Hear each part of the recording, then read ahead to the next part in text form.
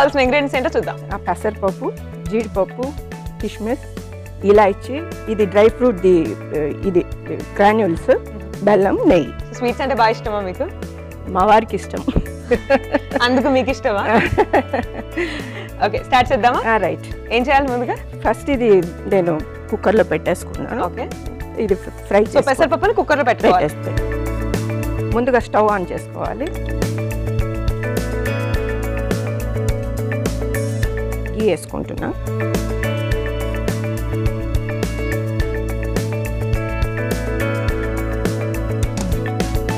So two tablespoons of గియా yeah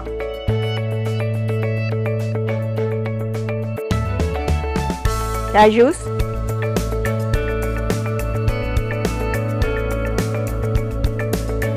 so గీలో cashews fry చేసుకోవాలి. Yeah తర్వాత ఇది కిష్మిస్ గసాలు అంటారు కదా పాపీ సీడ్స్. అవి కూడా బాగా క్రంచీ క్రంచీగా క్రిస్పీగా టేస్టీగా కూడా ఉంటాయి. ఉంటుంది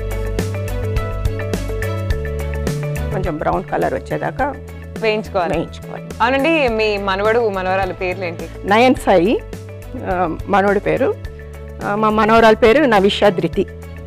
ఓ రెండు ఎంతో. ఎంతో.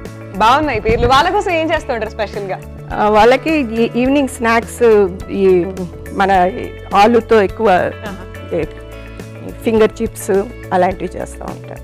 సో ఎక్స్పర్ట్ అనమాట మీరు కుకింగ్లో Yeah.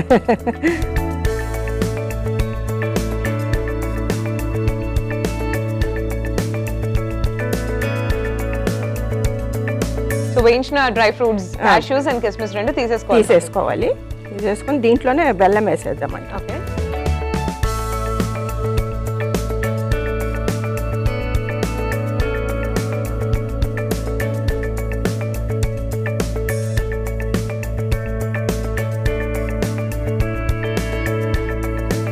తర్వాత బెల్లం వేసేద్దాం. ఓకే.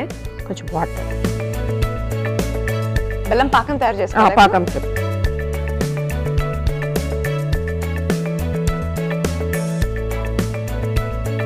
సో దీంట్లో షుగర్ యూస్ చేయట్లేదండి మనం చేయట్లేదండి. సో ప్యూర్ జాగ్రత్త జాగ్రత్త చేస్తున్నాం. సో హెల్దీ అంటే ఇంకా ఏ మాత్రం మనం మొహమాటం లేకుండా లేకుండా తినొచ్చు. ఏ రిగ్రెట్స్ లేకుండా హ్యాపీగా కన్సూమ్ చేయొచ్చు యా యా. టూ కప్స్ వేసేయాలి వాటర్. సో అంటే మళ్ళీ దీనికి ఏమైనా మెజర్మెంట్స్ ఒక ఒక కప్పు బెల్లంకి రెండు కప్పులు వాటర్ అలా? కొంచెం మనకి లూజ్గా కావాలంటే కొద్దిగా వాటర్ ఎక్కువ ఎక్కువ వేసుకో. వేసుకోవాలి. సో ఈ బెల్లం బాగా మరగాలి. మరగాలి కొంచెం పాకమైన తర్వాత Hmm. దాంట్లో. సో ఎంతసేపు పడుతుందండి బెల్లం పాకం తయారవడానికి? ఇంకొక టెన్ మినిట్స్ పడుతుంది. టెన్ మినిట్స్ సో ఆడియన్స్ మీరందరూ చూస్తున్నారు కదండి. సో బెల్లం పాకం తయారు చేసుకుంటున్నాం ఎప్పుడైతే? అండ్ ఈ బెల్లం పాకం తయారవడానికి ఒక పది నిమిషాలు పడుతుంది. సో వెయిట్ చేద్దామా? టెన్ మినిట్స్ సో అప్పటి నుంచి వెయిట్ చేస్తున్నాం కదండి. బెల్లం పాకం తయారవడానికి. సో బెల్లం పాకం ఎప్పుడైతే రెడీ అయిపోయింది? కదండి? సో నెక్స్ట్ ఏం చేయాలి? నెక్స్ట్ ప్యాన్ ఇవ్వండి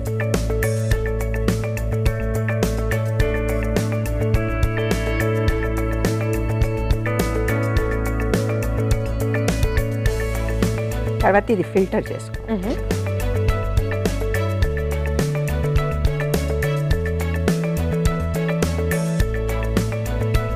సో కొంచెం కొంచెం బెల్లం ఎక్కడైనా మిగిలిపోయి ఇక్కడ ఫిల్టర్ అయిపోతుంది ఫిల్టర్. అయిపోతుంది.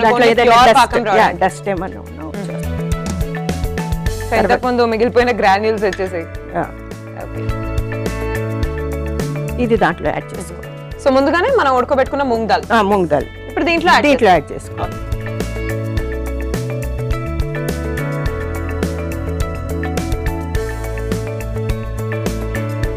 సో ఇది బాగా కలపాలా అండి మనం? కలపాలి బాగా. సో ఇది ఎంతసేపు కలపాలి? ఇది ఒక టెన్ మినిట్స్ కలపాలండి. సో ఆడియన్స్ అలాగే చూస్తున్నారు కదా మనం ఇందాక బెల్లం పాకం చేసాం. దానికన్నా ముందు కూడా మనం పెసరపప్పును ఉడకబెట్టుకున్నాం. సో ఆ ఉడకబెట్టుకున్న పెసరపప్పుని ఈ బెల్లం పాకంలో వేసి మనం బాగా కలుపుకోవాలి. అండ్ ఎక్కడ కూడా మనకి చిన్న చిన్నగా ఇలా మౌల్డ్స్ లేకుండా బాగా నీట్గా బ్లెండ్ అయిపోవడానికి బాగా కలుపుకోవాలి. ఒక టెన్ మినిట్స్ దాకా. సో వెయిట్ చేద్దామా టెన్ మినిట్స్? నెక్స్ట్ ఇది డ్రై ఫ్రూట్స్ పౌడర్ దాంట్లోకి సో మొత్తానికైతే పెసరపప్పు అలాగే బెల్లం పాకం రెండు బాగా బ్లెండ్ అయిపోయాయి అన్నమాట దీంట్లో బాదాం అండ్ క్యాష్యూస్ మనం కొంచెం గ్రాన్యూల్స్. లాగా గ్రైండ్. చేసేసి వేసేసాం. అంటే కొంచెం బైండింగ్ లాగా ఉంటుంది. టేస్ట్ కూడా బాగుంటుంది. ఇప్పుడే తెలిసిపోతుంది. మంచి స్మెల్ వస్తుంది. ఓకే ఇలాయచీ అండి. ఇలాయచీ పౌడర్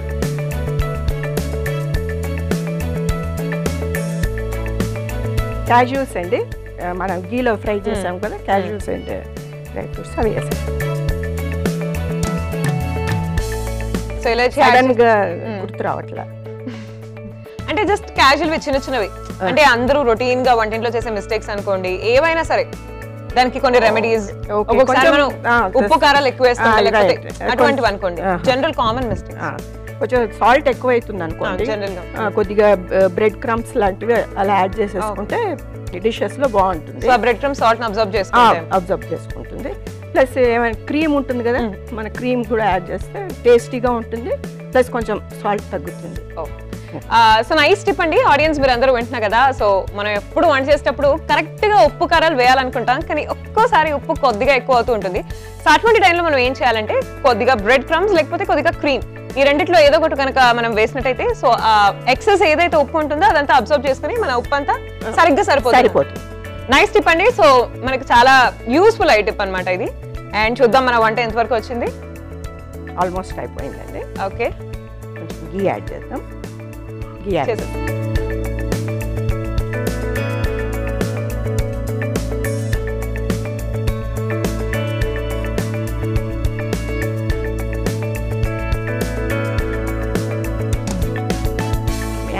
చాలా బాగుంటుంది. థ్యాంక్ యూ సునీత గారు. You're too pretty pretty thank you మీరు కూడా చాలా చాలా pretty and you know nice attractive face actually thank you so much and మీరు వేసుకున్న ఫ్రెంచ్ ప్లేట్ నా ఫేవరెట్ తెలుసా? అవును? French plait I love French plait చాలా. సో అయిపోయినట్టేనా? అయిపోయిందండి. మన పెసరపప్పు స్వీట్ స్వీట్ అయిపోయింది. డిష్ అవుట్ చేసేద్దాం. సో ఇది ఇలా వేడి వేడిగా తింటే బాగుంటుందా? లేకపోతే మనం ఒక బౌల్ తీసుకొని ఫ్రిడ్జ్లో చల్ల చల్లగా తింటే బాగుంటుందా? వేడిగా బాగుంటుంది. ఎలా అయినా. ఎలా అయినా మన. యా.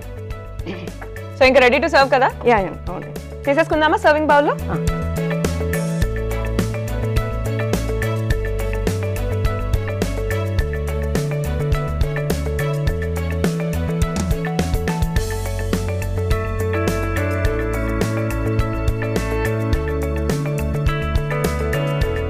జనరల్గా మా ఇంట్లో పెసరపప్పుతో చారు అలాంటివి చేస్తూ ఉంటారు ఎక్కువ రసం. బట్ ఇప్పుడు పెసరపప్పు స్వీట్. స్వీట్ పెసరపప్పు మల్టీపర్పస్ కదా మనం ఎలా అయినా వాడుకోవచ్చు. వాడుకోవచ్చు. మంచి సలువ చలువ. మంచి బాడీ కూల్ అయిపోతుంది కూల్. అయిపోతుంది ఎక్కువ కిడ్స్కి పెడితే కొంచెం ప్రోటీన్స్ అవి ఉంటాయి కదా. సో బాగా జీడిపప్పులు వేసారు మొత్తానికి. నాకైతే ఎప్పుడే తినాలనిపిస్తుంది. నాకు జీడిపప్పు కనిపిస్తే తినాలనిపిస్తుంది. వేడి వేడి పెసరపప్పు పాయసం రెడీ.